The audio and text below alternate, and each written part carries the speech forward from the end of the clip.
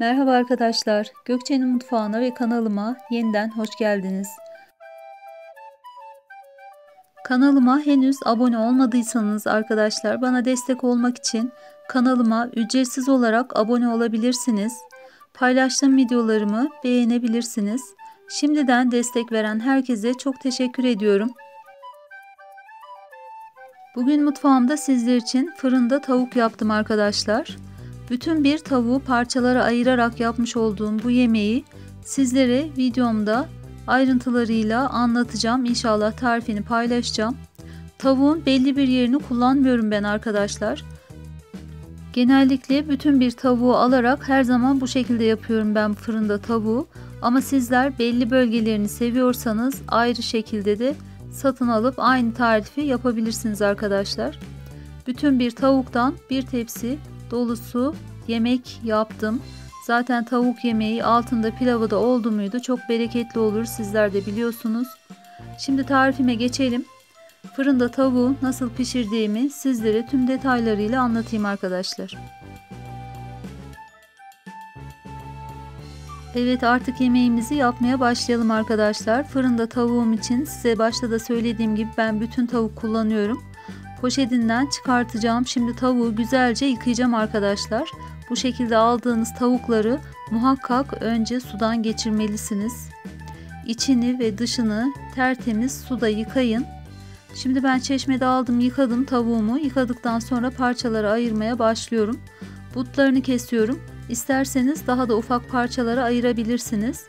Tavuğun orta kısımdaki kemikli yerlerini ve yenmeyecek şekildeki yağlı bölgelerini bir kenara ayırıyorum arkadaşlar. Onları daha sonra haşlayacağım ve pilavımı pişirmek için kullanacağım onların suyuyla. Şimdi cam kasenin içine aldıklarım fırında pişireceğim olan kısım. Tahtamın üstündekiler de haşlayacağım kısım arkadaşlar. Onları da yıkamıştım zaten.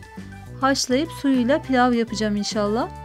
Şimdi kasemin içindeki tavuklarımı ben iri parçalar halinde böldüm gördüğünüz üzere. Ama istiyorsanız sizler daha minik parçalara da tabii ki ayırabilirsiniz. Şimdi bir kasenin içine bir miktar sıvı yağ aldım arkadaşlar.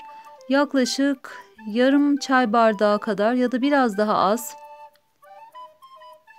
İçine tuzunu ekliyorum şimdi. Burada yağın içine ekliyorum tuzunu. Daha sonra tuz eklemeyeceğim çünkü tavuklarımın üzerine.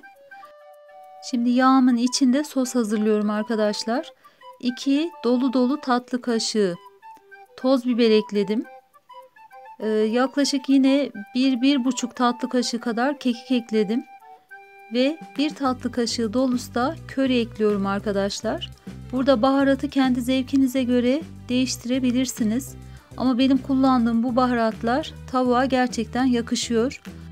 Elinizde bulunuyorsa farklı tavuk baharatlarından da kullanabilirsiniz bu sosun içinde. Ama benim şu an kullandığım baharatlar gayet ideal lezzette oluyor açıkçası. Şimdi hazırladığım yağlı sosu tavukların üzerine döktüm ve güzelce yedirdim arkadaşlar. Tavuklarımı daha sonra tepsimin içine dizmeye başladım. Deri olan kısımları üste gelecek şekilde tavuklarımı tepsime dizdim ve 200 derece ısıtılmış olan fırınıma gönderdim. Yaklaşık 45-50 dakika civarında tavuklarım muhteşem bir şekilde pişti. Önce göstermiş olduğum tavuk parçalarından haşladığım suyla da pirinç pilavı pişirdim. Şimdi pilavımın üzerine tavuklarımı servis ediyorum. Tavuklarınızı pişirirken fırından almadan önce mutlaka çatalla pişip pişmediğinde kontrol edin arkadaşlar. Daha sonra alın. Ben çatalla kontrolümü yaptım. Hepsi de yumuşaktı. O şekilde fırınımdan aldım. Şimdi tavuğunuza göre pişme süresi değişebilir. Benim tavuklarım 45-50 dakikada pişti ama belki sizin tavuğunuz biraz daha erken pişecektir. O yüzden ara ara çatalla kontrol etmenizde fayda var. Evet bugün sizlere böyle kolay bir tarif verdim arkadaşlar. Fırında tavuk çok lezzetli bir ana yemek. Yapımı gerçekten çok kolay ve pratik bir tarifti arkadaşlar. Umarım tarifimi beğenmişsinizdir. Deneyecek olan herkese şimdiden afiyet olsun diyorum. Beni izlediğiniz için hepinize çok teşekkür ederim.